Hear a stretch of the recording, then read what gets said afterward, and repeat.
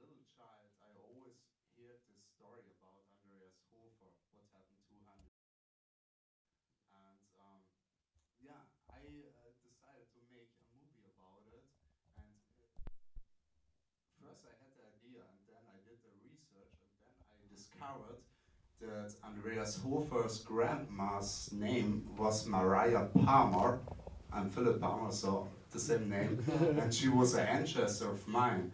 So uh, this was one more reason to make the, the film, and I'm very strong connected, of course, because this is my homeland. Uh, what I find, you talk about your um, ancestors, and uh, what I found uh, great in the movie was that there's very strong female characters. Not many uh, movies, history dramas also about Andreas Hofer have strong female characters, and there, there are three, you know, strong female characters. Um, and I'm sure you wrote that on purpose, the script like that?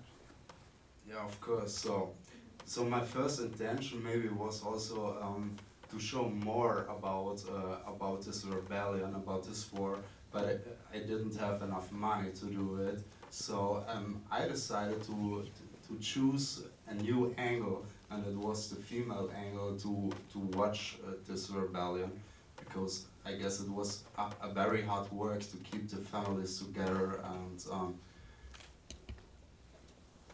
yeah, it was it, it was also a, a, kind of a never told story because Andreas Hofer's wife Anna Hofer, which played here um, a kind of a bigger part than in all other movies, um, and Katharina and also Elizabeth on uh, on the farm, uh, they were very strong woman and yeah it was quite important to show also this part of of this history um, you shot the movie on location in Südtirol in the northern part of Italy which back then was part of the Austrian Empire but yeah. it's now uh, Italy since World War One um, and you are from there originally I'm Italian Uh, how was the support of the of the community there? I think there also a lot of you had an exceptional talented cast, but you also had a lot of locals working in the film. I think,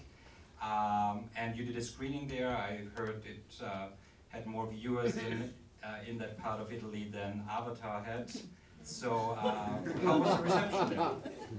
the reception was great, but it didn't start like this because when I started to to come to the people with this idea, they never had seen before a film camera or a film team, and so we had to start very slowly and uh, we had to explain what what we want to do, and. Um, especially at this farm, there was, uh, there was a farmer living there uh, he was born on this farm. He's now more than 80 years old, and he just sees four or five times a year other people uh, from outside his farm.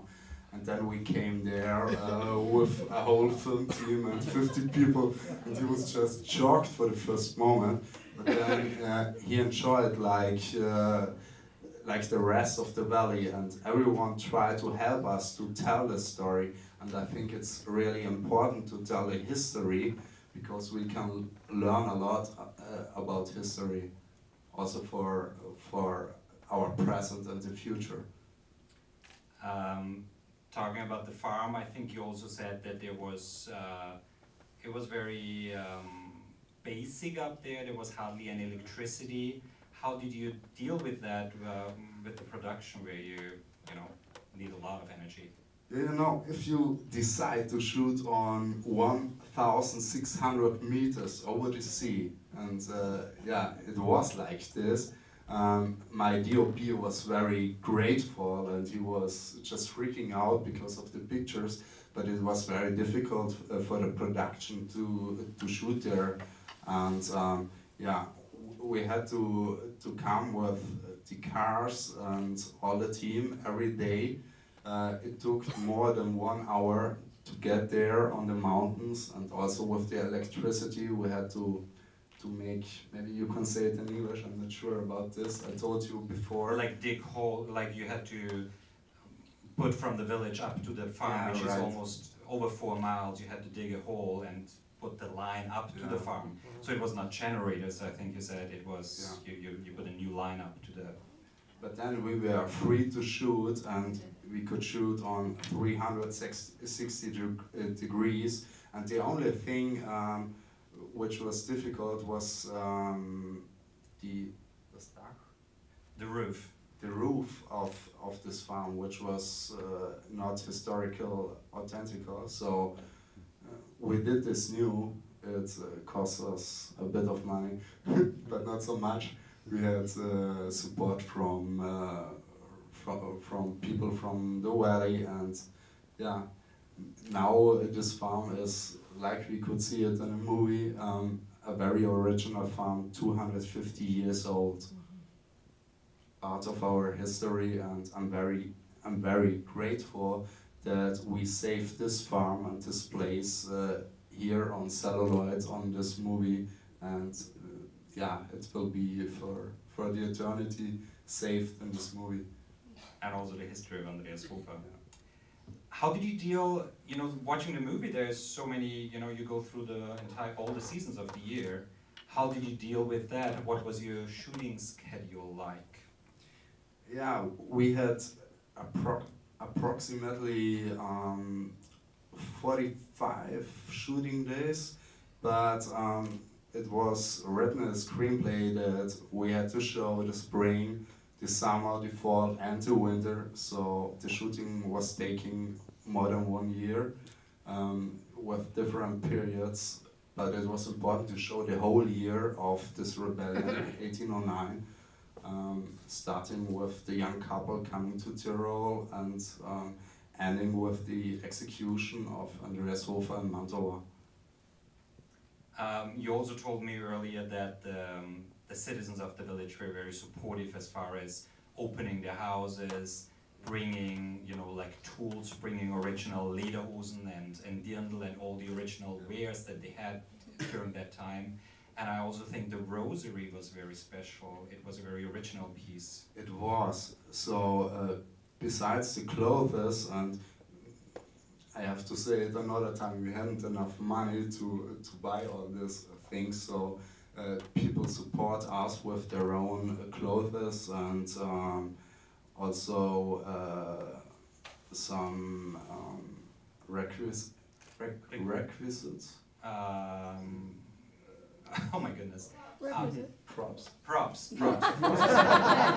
Thank you. Um, and uh, we were also in contact with the original Andreas Hofer Museum. Um, and there was this rosary, this black rosary chain, which was the original chain of Andreas Hofer, uh, more than 200 years old. And we had this as a prop in our movie. And it was a, a very magic moment um, shooting this scene with, with this original piece of history. Uh, talking about magic moments, one of the magic moments in the movies is also uh, the mountains that you so beautifully show and the landscape of Südtirol. And I think you also have a very special relationship to the mountains of Südtirol. I have, yeah. I grew up there, and for me, you know, besides the main uh, characters in this movie, one of the main characters for me are the mountains, which are, um, which are, uh, Tüter, um, which are, um, What's the sentence?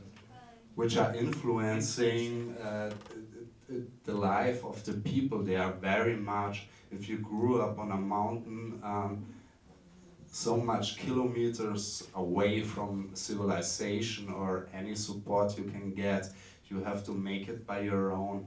And uh, people there, it was a quite ridiculous idea fighting against Napoleon and this uh, huge army, um, but they did and maybe they did it because they uh, they trust uh, themselves and uh, they were yeah they grew up on the mountains and they were habituated to um, yeah to solve problems like this. I hope you can understand my strange Tyrolean language. Okay. Uh, let's open up to some questions for the from the audience. Are there any questions? The movie came out 200. You filmed 200 years uh, Yeah. after, exactly 200 years to the day after the rebellion in Tirol. Uh, was there? Did that help you in the funding of the movie? And it's amazing if you think about this is the thesis for a student film. Wow. Uh, you hardly ever see such an amazing. It's like a blockbuster, and you know to get the funding to do that, and especially the aerial shots. How did you go about the funding of the movie?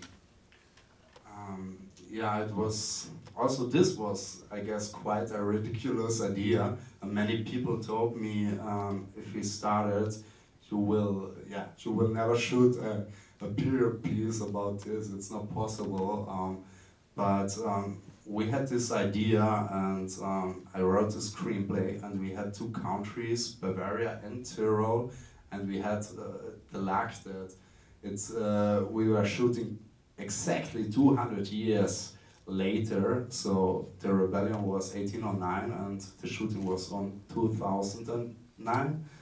And um, yeah, uh, we made it happen and we succeed doing it. Uh, gentleman with glasses. I uh, I like the fact that you don't really see much of the battles, and it feels more intimate in that sense. And they explain things that happen in the battle, and you just hear about them. And to me, that's more horrific. Like if you had a bigger budget, would you have? Do you think you would have shot those scenes, or because I like it the way it, you know, with, without The- showing it. The question was that it was uh, so great to see, uh, To to not- not see the battles graphically, to just you know leave it to the audience's uh, vision. And uh, the question was if uh, Philipp would have had a higher budget if he would have shown the battle. So um, I knew this before. This was uh, this was kind of a preamble before writing the screenplay. If I would know that, I would have have the um, uh, ten time uh, as much uh, as as the budget was. Maybe I would uh, wrote another screenplay, but with this uh, budget, I think we made the best of it, and I think it's it's working Yeah. right. Uh, yeah. Very beautiful. Lady? Um, I have a question. So you were a student when you were creating this. Um, how long did it take you to get through the draft of the screenplay that you wanted to use, your script? And uh, a lot of American students think in a much smaller story for their student film. And so yours is so grand. Were you scared at all writing something this big? Or did you, did you not think it was big? Did everyone understand up here? Um, yeah, um, I had this idea, and um, the most difficult moment for me was the moment when I decided for myself to make this movie. Uh, it was before I started to write the screenplay. I was 22 years old, and I remember that I was lying in my bed, it was night, and my heart starts to beat. And uh, then I decided to make it, and after this decision, I, I wasn't afraid. Uh, it, it, it was for sure a huge mountain, but like every mountain, you can uh, you can climb and hike, and if you're on the summit, you have to look for the next mountain. It's like this. I think there was a question. Matthew? Yeah, um, you had talked about, the, obviously it's based on the story of um, Mr. Hofer, but how much of the Egger family story was based in fact and how much was your invention? Yeah, this is a good question. I, I did uh, a lot of research because um, when I started first to write the screenplay, I realized very soon that I didn't know enough to about this time to write something like this. So I, I read more than 20 books uh, playing in this time. And um, sorry, what was the question? How much was based in, how much was based in truth and how fictional character. Yeah, And I discovered that in 1809 um, there were three women from Bavaria living in the Passeier Valley with, uh, with husbands from the valley. So it was, um, it was realistic, but um, the story you can see in the film, uh, the fictional story was invented by my fantasy, but uh, I think it's, it's quite realistic, so. You should meet my mom. Who would she be in the kind of? Talk about uh, family. I, I read a story also that uh, there were some Tyrolean dishes that you had to kind of eat as a child that you absolutely didn't like, and that's what you base the Kartoffelsuppe on, I guess. Yeah, not only the Kartoffelsuppe, it's also the, the mousse. Uh, this is this uh, in the plant. Yes, The- the- what was it? In the pot. Uh, if they are sitting at the tail, you can see it's it's, uh, it's Oh, the- kind of this white. Uh, Like in Sterz, uh, is it? Or yeah, it, it's with mi- in good times they made it it's with like grit, I guess. wheat and water, and a bad time, oh, Gruel. in good It's like times grit. but- Gruel. How do you call it? Gruel. Gruel. Uh, Well, yeah. and I hated this as a child. My, my parents always uh, forced me to eat it, but I hated it. And in this movie, I tried to, uh, yeah, to solve this problem from my childhood. and uh, all the actors uh, doing this, and we had to shoot the scenes a lot of times. And always, if I said cut, thank you, they were spitting it out. and I really enjoyed it. Also, uh, the situation obviously in Europe changed the last 200 years now with the European Union. Südtirol is part of Italy nowadays. Uh, how did the situation change though in, in, in Tyrol uh, and the relationship to Bavarians or to Germans? How does it look like nowadays?